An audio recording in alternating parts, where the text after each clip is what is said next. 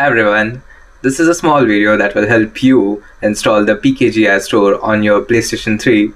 It's quite simple and it only takes about 5 minutes and that's what I'll show you in this video. The PKGI store is a homebrew application that lets you download content like games and themes directly onto your PS3 without the need for a USB or an FTP connection. And the good thing is, for this video you don't need a PC or a USB drive. You just need a smartphone, a Wi-Fi connection, or your mobile's hotspot is fine. And of course I'm assuming that your PlayStation 3 is already jailbroken and it has multiMAN.